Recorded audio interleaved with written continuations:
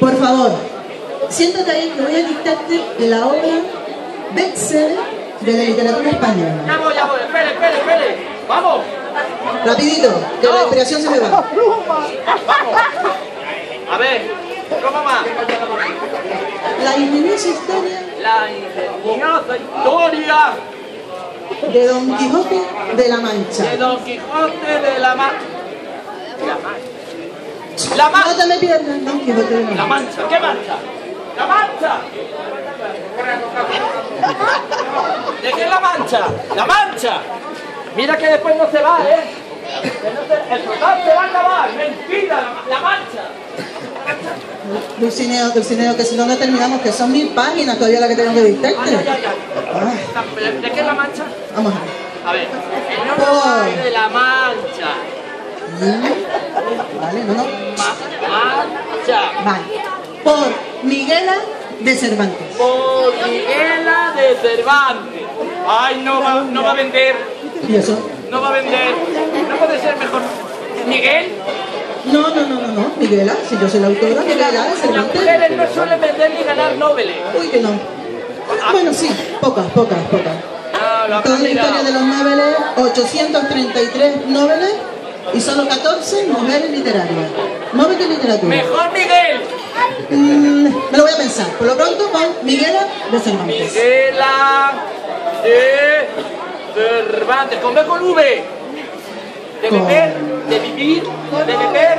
Vamos a ponerlo con queda Con mejor. B con V. ¿Cómo va Cervantes? Cervantes. Cervantes. Esto es democracia.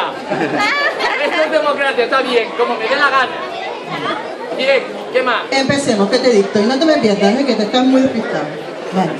En un lugar de la Mancha, En un lugar de la mancha, de cuyo nombre no quiero acordarme, de cuyo nombre no quiero acordarme. ¿Qué habrás hecho para que no te quieras acordar? Ah, ¿qué te Pasar voy con a el pollino, el pollino.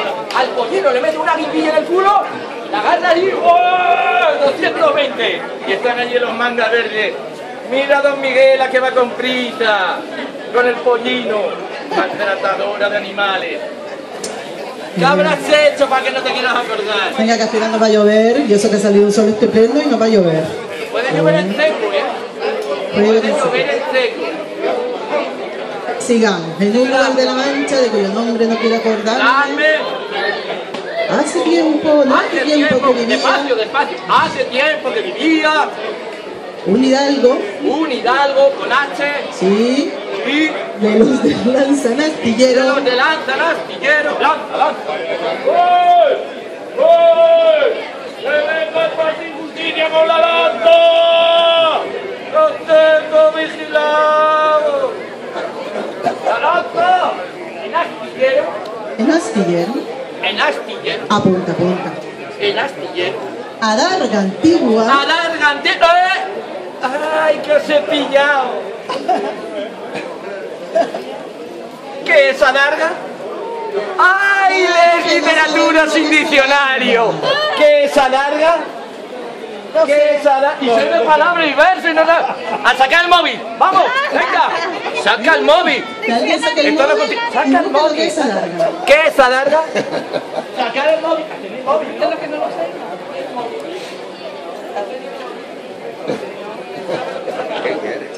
Alarga, alarga, A-D-A-R-G-A. ¿Alguien sabe lo que es alarga?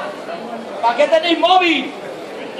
¿No lo dice el profesor ¿Quién se decide a decirnos que es Adarga? Busquen en el móvil, No lo tiene aquí. en la RAE. Ay, no tengo el móvil aquí. Vaya, perdón. Muy mal, ¿eh? A ver, Muy mal. a ver, que lo va a decir ella que es Adarga. Venga, ¿Qué es alarga? Vamos a ¡Ay, pobre niña!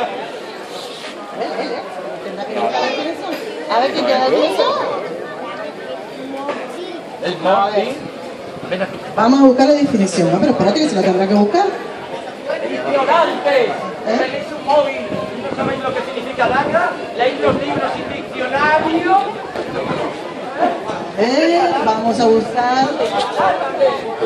Alarga más larga que corta. A ver, a ver. ¿Será eso? No. ¿Qué A ver, vamos a leer lo que significa Dalma. Lo va a leer ella.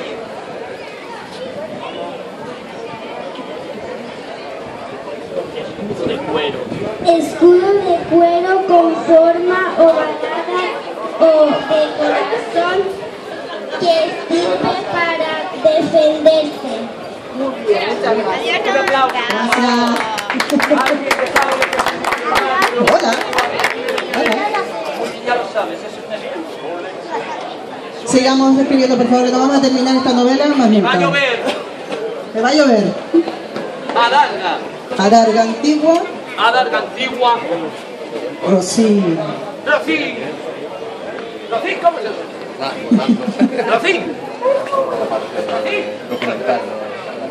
¿Qué más? Hidalgo Corredor. Gago Corredor. Bueno, Gago bueno, yo creo que mejor lo dejamos por aquí. Ya por hoy hemos tenido bastante. Y va a llover, va a llover. Además, esto es tinta Va a de llover. goma y se puede correr. Que yo de correr sé varias maneras, pero que se me... No, ya está. Hasta aquí quedamos. Muchas gracias. Nuestro homenaje a Miguel de Cervantes. ¡Alarga! Apunte. Y ahora, bueno, buenos días a todos. Mil gracias por estar compartiendo este día, esta fiesta del libro eh, que ha organizado la Casa Museo, Centro de Arte Indigenista, Antonio Padrón, y en la que, bueno, nosotros humildemente estamos aportando nuestro grano de arena en, forma de texto, lectura de textos y poemas que vamos a realizar aquí. Noelia. Eh, vamos a estar en una lectura aquí fuera ahora mismo de relatos y textos, luego pasaremos dentro, donde va a haber una actuación musical de Heriberto Cruz, que está acompañado con David Álamo la guitarra, y posteriormente también va a haber una, una explicación y una lectura también de Franca Dimar después, y a ver, va a haber una explicación sobre una exposición de Algarací, lo dije bien, de Algarací, una revista Algarací. Así que nada, le damos paso a los compañeros y vamos a, a leer, venga, vayan animándose. Venga, ven, conmigo. Lectores del mundo unido. Hola, buenos días. Este. Pedazo homenaje, ¿verdad? A Miguel de Cervantes. Somos unos artistas. Bueno, yo voy a leer un pequeño micro relato que escribí hace un tiempito y se llama Haz de. Eh, quería buscar algún texto de- dedicado a Antonio Padrón. Aquí lo tengo, pero lo leeremos dentro. Pero dedicado también, por hacerle homenaje a Antonio Padrón, eh, tiene un cuadro dedicado a las cartas. Yo escribí un pequeño texto que, aunque no tiene mucho que ver con las cartas que Antonio Padrón pintó en su cuadro, sí voy a leer un texto que tiene que ver con, el, eh, con, cartas. Y este es el texto. Se titula de pica y dice así. Le picó tanto, tanto la curiosidad que se lanzó. Al principio la trajo su forma de conquistarla, pero cuando pasaba el tiempo observaba que el juego se le iba de las manos. No le ganaban tantos corazones, tréboles y diamantes, pero continuó con el juego de la conquista hasta descubrir que para él todo tiene un fin. Así se adelantó a ser dejada. Tenía que aprovechar ese as bajo la manga. Dispuesta, preparó el final con su mejor carta, lanzó el as de picas y volvió a ser.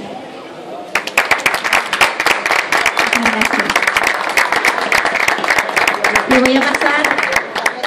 Venga, Juan Francisco. Eh, hola, soy Juan Francisco Santana y voy a leerle un poema, no hace mucho que lo hice. Las sales de tu garzo mar se adhirieron a mi piel, como cuero, como cuero golpeado, haciendo que al retirarse la marea que me mece se llevara lejos la zozobra que me embarga hasta doblarme.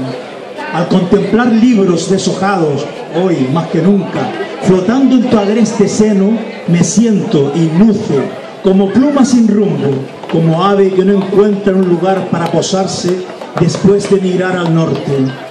La gelidez de la amanecida me ofreció su trémulo abrazo y por mis acequias transitaron aguas cargadas de remembranzas, bañando mis, mis sellados nichos y llevándose, sin darme tiempo,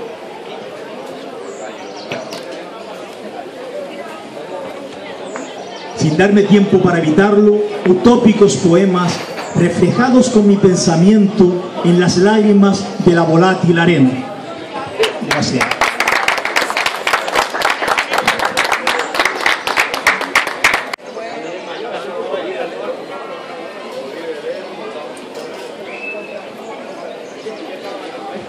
Hola.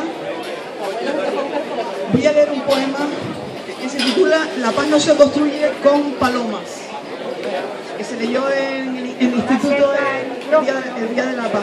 Pégate el micro, por favor. A ver, voy a leer La paz no se construye con palomas, que se leyó en mi instituto, que es el Instituto de Guía, el Día de la Paz. La paz no se construye tan solo con palomas que vuelan alto, blanqueando. Es resolviendo problemas e injusticias, solucionando. Dicen que está ahí, dentro de ti, en lo cercano, en los problemas de la calle, en los conflictos cotidianos, que si la luz, el agua, las contribuciones del Estado, la educación, la universidad, ¿quién puede pagar ahora la sanidad? ¿Cuánto cuesta la paz?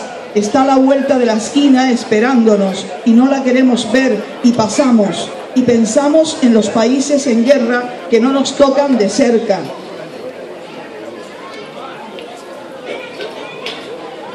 Entre los dirigentes que no dialogan y enfrentan, en los muros que sustentas, en esa línea imperceptible que marca la diferencia. Ay, la paz, tan denostada la paz, tan reiterada, pintando la mano en camisetas, que la paz no se construye tan solo con palomas. Gracias. Le paso.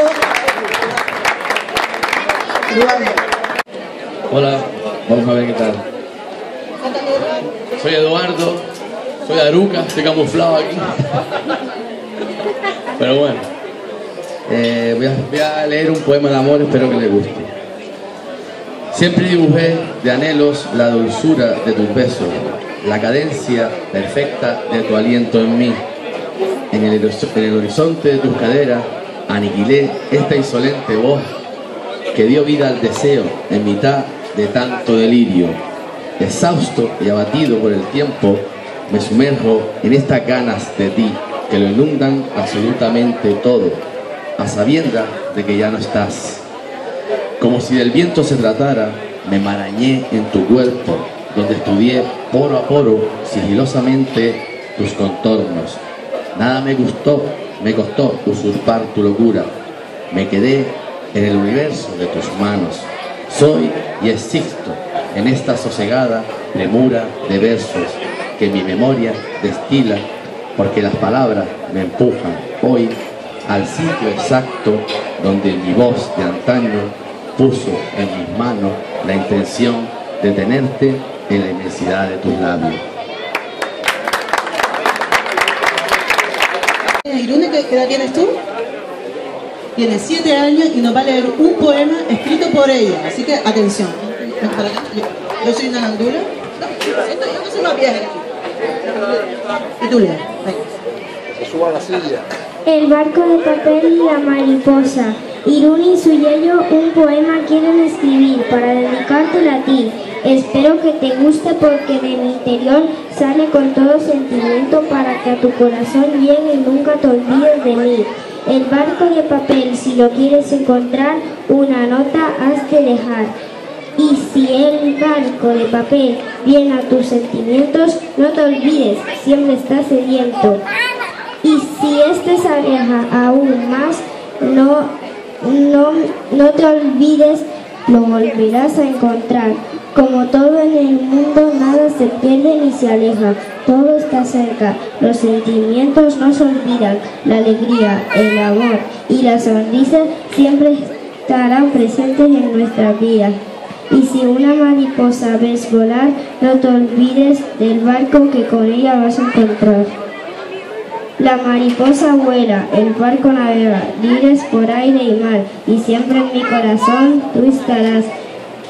Y si mi barco de papel y mi mariposa se pierden por el cielo o por el mar, no importa, pero no me olvides jamás, Irune y Antonio. Que a mí me dejan dar clase, porque dicen que tengo el K. Tengo el K.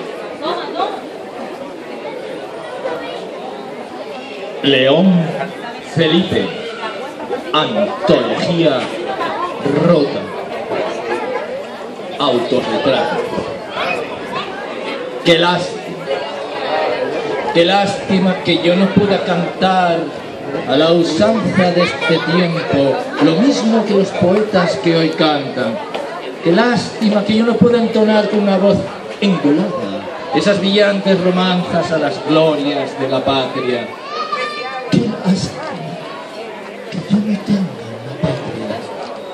Sé que la historia es la misma, la misma siempre, que pasa desde una tierra a otra tierra, desde una raza a otra raza. Como pasan esas tormentas de estío desde esta a aquella comarca. Patria chica, tierra provinciana, debe nacer en la entraña de la estepa castellana y fui a nacer en un pueblo del que no recuerdo nada.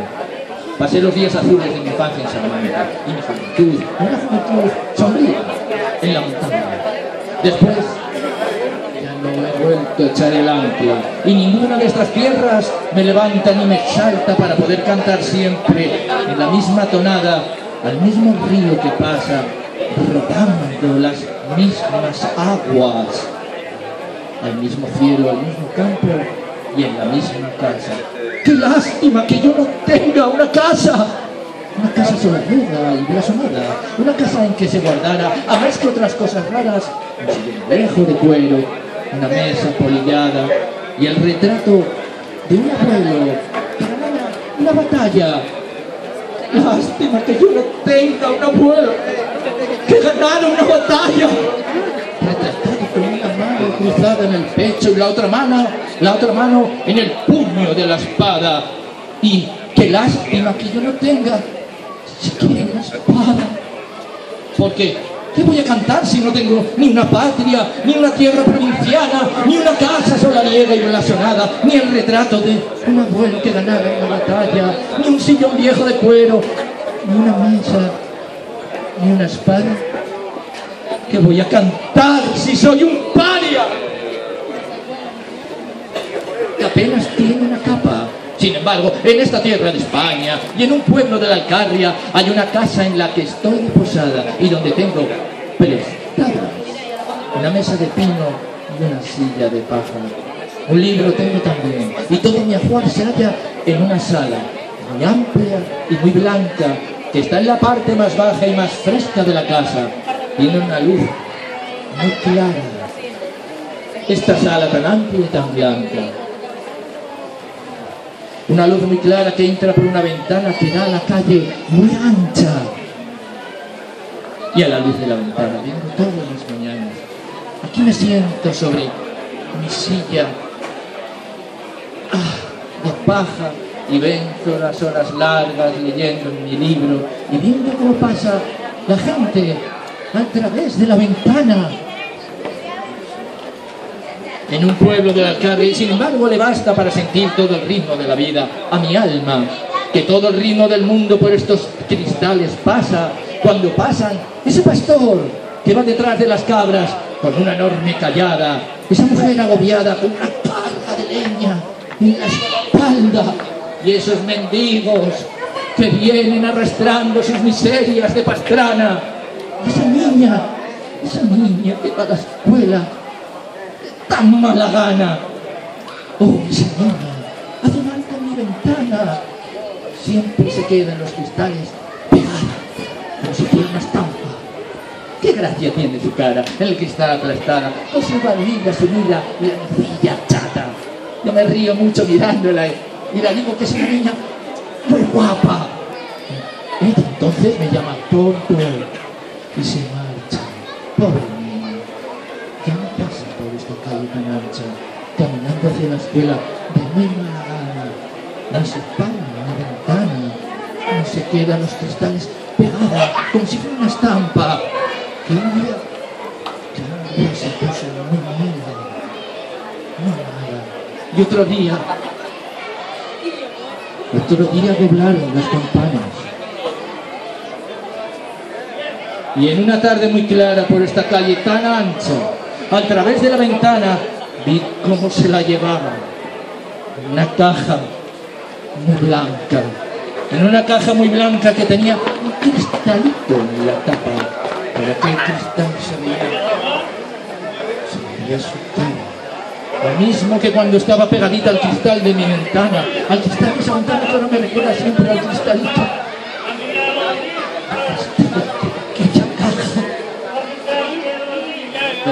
De la vida pasa por este cristal ventana.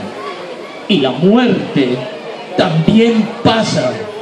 Qué lástima que no pudiendo cantar otras hazañas, porque no tengo una patria, ni una tierra provinciana, ni una casa solariega y blasonada, ni el retrato de mi abuelo que ganó en una batalla, ni un viejo de cuero, ni una mesa, ni una espada. Y soy un paria que apenas tiene una capa. Venga forzado a cantar cosas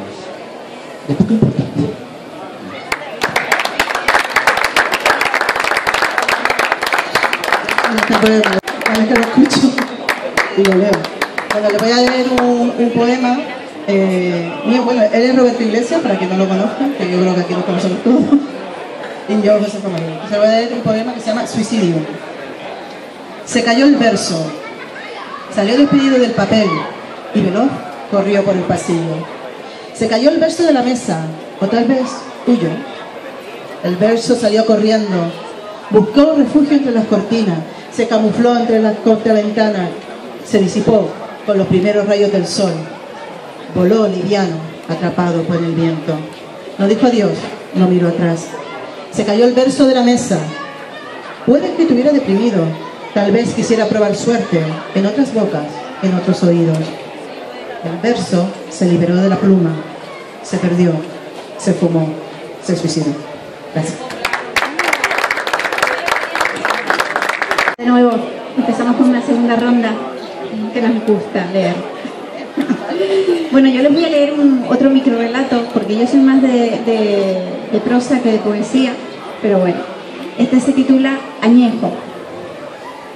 Antes de entrar, ya huelo a tostadas calientes con mantequilla, al café con virutas de chocolate que solías prepararme cada mañana. Entro, cierro los ojos y huelo a ese inconfundible aroma que me baña. Perdón.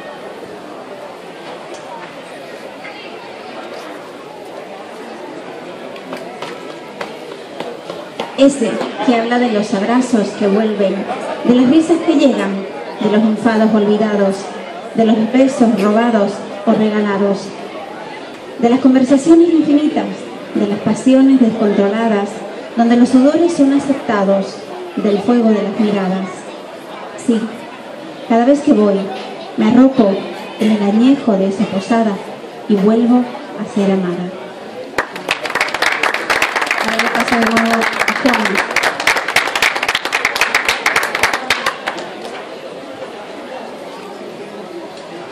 Aleteaban en lo más hondo, en lo profundo de la lontananza, las ilusiones que otrora tuviera mientras las picoteaban los cuervos enfurecidos, los graznantes que nunca supieron de caricias. El alma se me rompió al verles pulsando los sueños silenciados por la brisa de Arpócrates. Me quedé helado, sin sangre que corriera por mis venas, al verles descargar su ira congelada y en sus ojos la pena reluciente. Entregué, pasados los años, los llantos enclaustrados, las quimeras que nunca cumplieron, el deseo tan largamente sufrido de verse en mi mirada reflejadas. Sus fauces me dieron alivio, haciendo que mis besos, los nunca dados a labios que jamás lo supieron, encontraran por fin un sentido. Muchas gracias.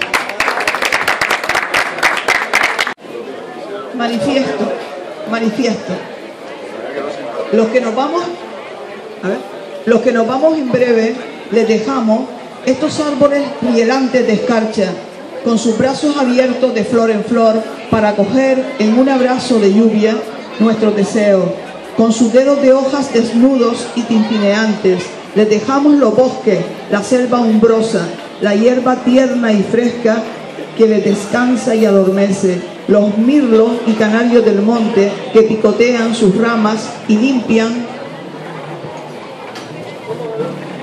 y limpian sus picos de las brisnas, la fértil tierra de trigos y cebada, la baja, la baja Sajonia, la alta Baviera, ¿qué más da? Los ratones de Hamelin y el Besser, que todo lo envuelven. Les dejamos los mercados de fruta y jaramagos, los estilos arquitectónicos y teutónicos, el renacimiento italiano, la sonrisa irónica de Palas Atenea, ganadora del concurso en el Partenón, frente a Poseidón, y que dejó el nombre a la ciudad, el saber estar de los croatas en Trujillo, aunque les hayan destrozado las bombas, a pesar de ser patrimonio de la humanidad. Les dejamos Éfeso, erigido al este en Asia Menor, el altar, de Pérgamo en Berlín, la sabiduría árabe y hebrea de Córdoba, el código de las siete partidas de Alfonso X, protegiendo las costas y playas como bienes comunales de todos y no públicos desde hace siete siglos o así. La hermosa y antigua medicina china con su física cuántica, la acupuntura, el feng shui y la astrología, la ornamentación de las teteras, los grabados y la orfebrería en las puertas, celosías y mezquitas, el arte de la filigrana cuidadosamente tallado por los dedos de un artesano marroquí, turco o tunecino, el mundo envuelto en un rito hindú, árabe o japonés, hebreo o libanés, ¿qué más da? Uno es todo y todo es uno, y seremos polvo cósmico y partículas de nadas. Así que vivamos, amemos sin fronteras, seamos pacifistas, liberales, campesinos o posmodernos, ácratas, seamos niños, jóvenes, abuelos, unámonos, apoyémonos, amémonos. Intentemos comprender todas las filosofías, todas las visiones, todas las culturas, todas las tendencias, todas las políticas a favor siempre de un mundo en paz, libre, cordial, solidario. Extendamos la palabra, extendamos las manos, alcemos las voces, toma la mía.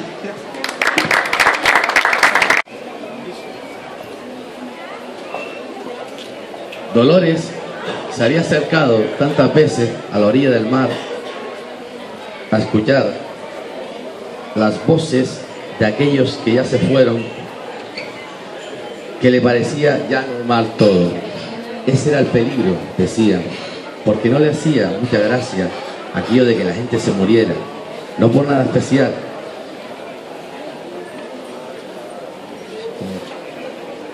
Mano.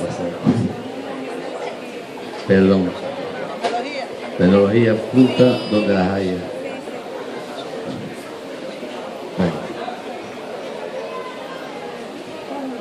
Perdón de nuevo.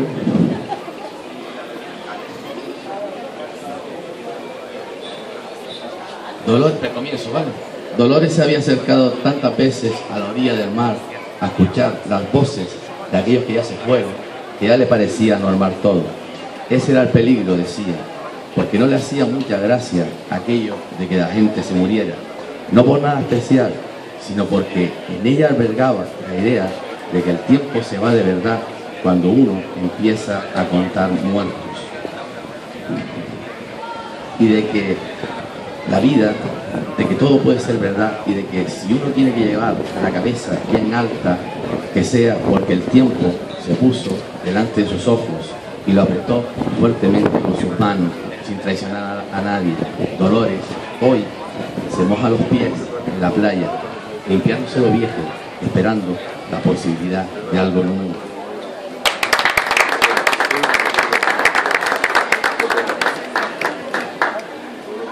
Irune otra vez.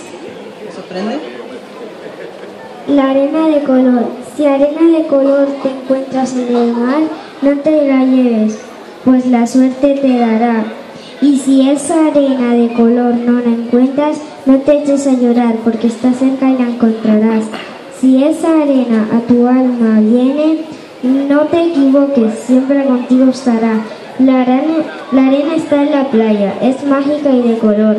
No te olvides, ella a tus pies siempre estará. Irune.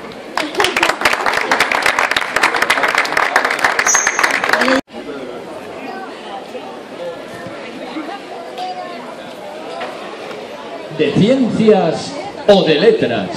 Ellos, ellos tienen los números. Ellos dicen cuánto mide, si cabe o no cabe.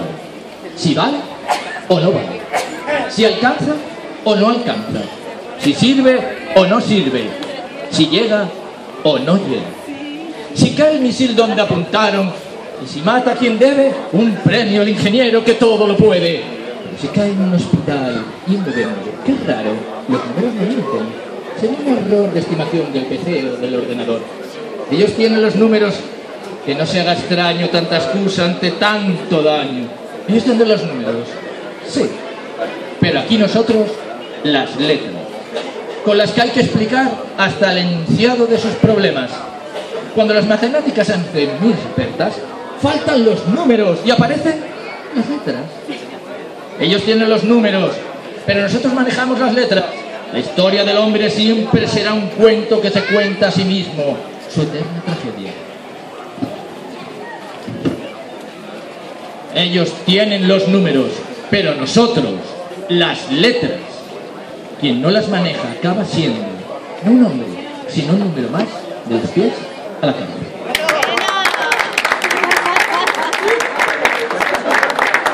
Y como adelantamos la cosa, que estamos celebrando el Día Internacional del Libro, que como saben se celebra mañana, 23 de abril.